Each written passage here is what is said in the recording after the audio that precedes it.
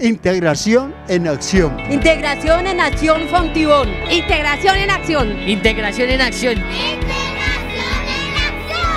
Nos encontramos en la localidad de Fontibón en nuestra última jornada de integración en acción. Un encuentro muy positivo que nos permitió oír las inquietudes de la, de la comunidad, conocer sus necesidades y oír las oportunidades de mejora. Es posible que la Secretaría programe actividades creativas para las personas adultas de Fontibón.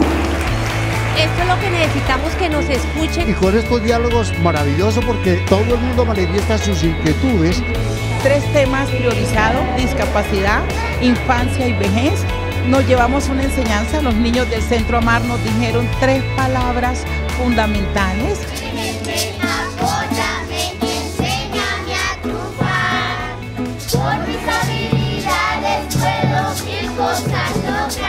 Tema de discapacidad hubo una constante. ¿Cómo era posible mejorar el subsidio que reciben por parte de la Secretaría? Y el segundo reto es el tema de los bonos canjeables por alimentos. Cuando nos vamos a apelar la doctora Mirna de recoger a estos cuidadores que se les bajó el bono para incluirlos en los otros apoyos o bienes o servicios que presta la Secretaría.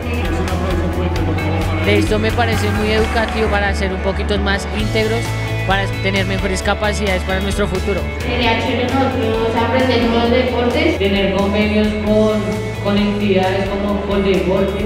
Tiene dominando la pelota, integración social por el sector, Ricardo marcando, quitando, metiendo pelotazo largo, mete el balonazo, arriba, integración de ataquito, va bien para abajo, gol, gol, gol, gol, gol, gol.